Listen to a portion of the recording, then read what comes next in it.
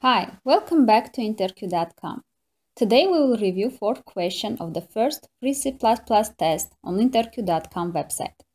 This question is about conversion of a derived class pointer to a base class pointer. We'll explain how it works and what are some important things to know about this conversion. In this program we have multiple inheritance. Class A, and class B are base classes, each with a default constructor and a data member. Class C is publicly derived from A and B and has a constructor and a data member too. In the main function object C of class C is defined. The address of that object is a pointer of class C. That pointer is assigned to a pointer of class A and to a pointer of class B. In these two assignments, compiler automatically converts the derived class pointer to corresponding base class pointer. In order to understand how this conversion works, let's look into the layout of the object C.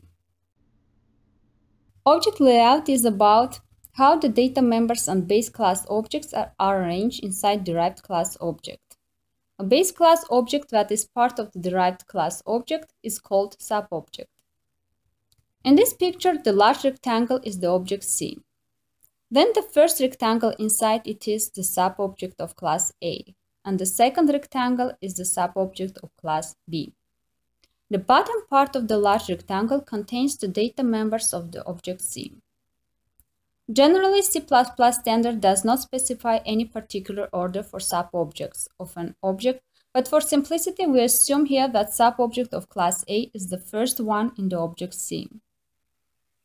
When derived class pointer is converted to a base class pointer, the resulted pointer points the address of the subobject of that base class.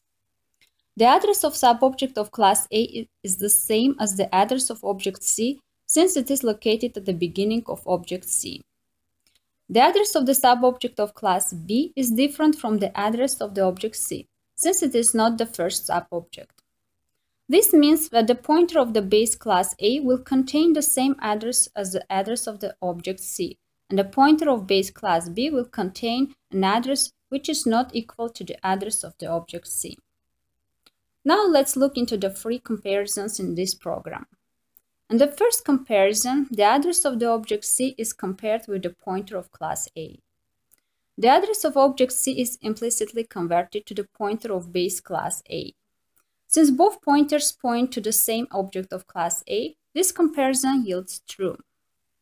In the second comparison, we have similar situation with the pointer of class B, so it yields true as well.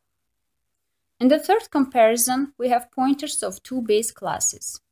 They are converted to char pointers using reinterpret cast in order to compare the memory addresses where they are pointing to.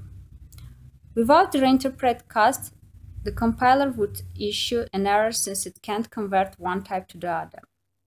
The left side pointer contains the address of the subobject of class A, and the right side pointer contains the address of subobject of class B.